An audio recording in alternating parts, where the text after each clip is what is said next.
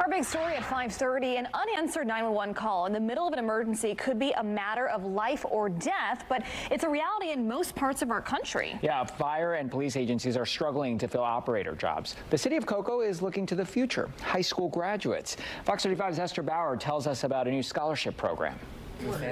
These two seniors are now out of the classroom and launching careers in public safety. People don't really want to uh, do that dangerous stuff. When people are like running away from the fire, you see us running in. So I, I think that's what really takes people away from that, that part of it. I really like safety and public safety, um, and I really think that I can make that difference, um, especially being, you know, my color, because a lot of backgrounds are like, you know, more white, you know, oh yeah, black people really doesn't have that change, and I want to make that change. Becoming a firefighter and police officer is the goal for these two Cocoa High graduates. New funding is making that dream a reality.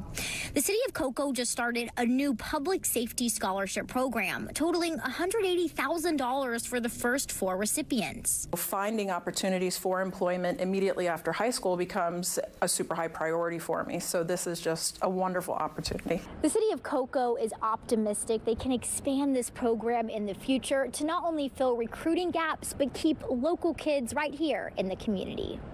I love Cocoa. I just, I just want to stay here. That's a big deal because agencies across the country are struggling to hire. We're finding that a lot of people that are interviewing just aren't meeting the, meeting the qualifications, so we've had to find different in- innovative ways of trying to find more qualified applicants. A new study shows 94% of fire departments nationwide had staffing challenges in the past year, and 87% of police departments are not fully staffed. After touring each department during school trips, these new recruits are ready to get going.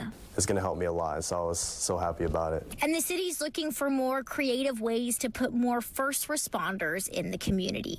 Reporting in Cocoa, Esther Bauer, Fox 35 News.